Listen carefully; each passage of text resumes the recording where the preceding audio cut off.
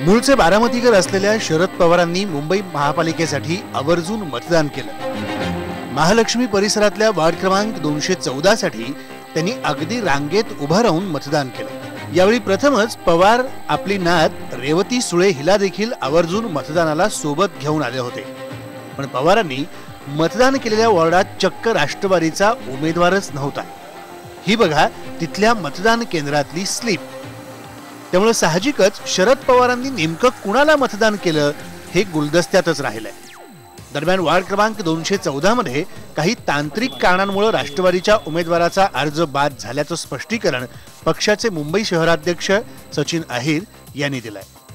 कालच पवार साहेब मला फो फोन करून विचारत होते सचिन की आता मी कोणाला मतदान करायचं? तुम्ही मला साहेब तुमच्या बुद्धीला पटेल ते मतदान करा. खरं तर दोनशे चौदामध्ये एक सलीम म्हणून एक कार्यकर्त्याला आपण तिकडे कॅन्डिडेट म्हणून दिला होता. पण टेक्निकल ग्राउंडवरती त्यांचा फॉर्म रिजेक्ट झाला. आणि म्हणूनच पण उत्साह आहे आणि उत्सुकता आहे की साहेब कोणाच्या मागे राहतील? आता राष्ट्रवादीचा उमेदवारच नाही म्हटल्यावर पवारांनी इच्छा असूनही राष्ट्रवादीला मतदान करणं शक्यच नव्हतं.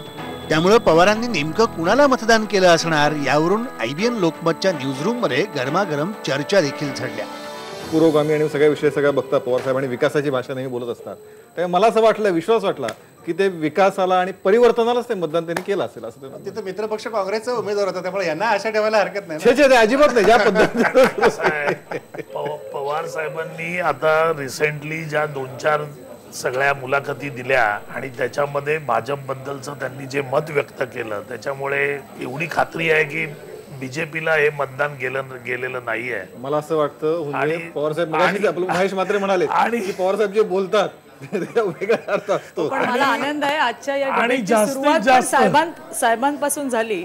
राज्यात काही झालं चांगलं झालं तरी शरद पवार.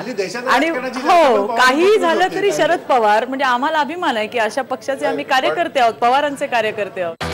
पवारांचे सर्वपक्षीय मैत्रीचे संबंध लक्षात घेता त्यांच्या मतदानाबाबतही अनेक तर्कवितर्क लढवले जात आहेत. सेना म्हणतीये पवार बाळासाहेबांच्या मैत्रीला जागले असतील तर भाजपकडून मोदी पवार मैत्रीचा दाखला दिला जातोय. तर काँग्रेसवाले म्हणतात की पवार आपल्या मित्रपक्षाला एवढ्या लवकर कसे विसरतील? एकूणच काय?